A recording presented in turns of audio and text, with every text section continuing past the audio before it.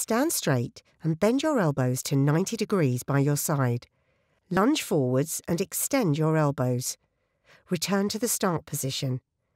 This is a serratus anterior strengthening exercise.